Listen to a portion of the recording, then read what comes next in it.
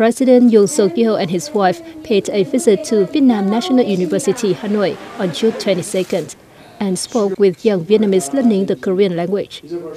He said his visit takes place in the context of sound development in relations between the two countries.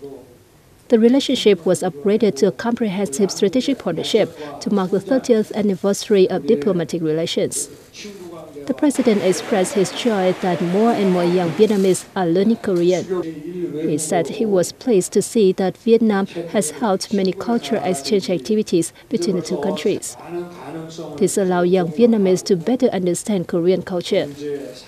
President Yoon suk yeol and his wife also answered questions from young Vietnamese about the beauty of Korean culture and the Korean way.